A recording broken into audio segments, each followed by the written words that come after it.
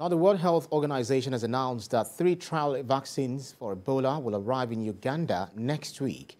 The announcement was made during the G70 or G20 meeting in Indonesia by WHO Director General Tedros Adhanom Ghebreyesus.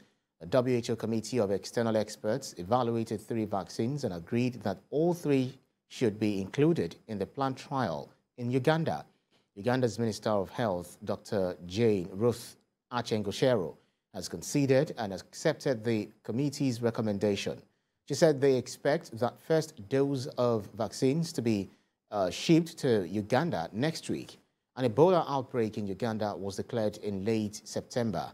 Since then, Ebola claimed at least 55 deaths. Two of the three trial vaccines were developed in the UK. The third trial vaccine comes from the US.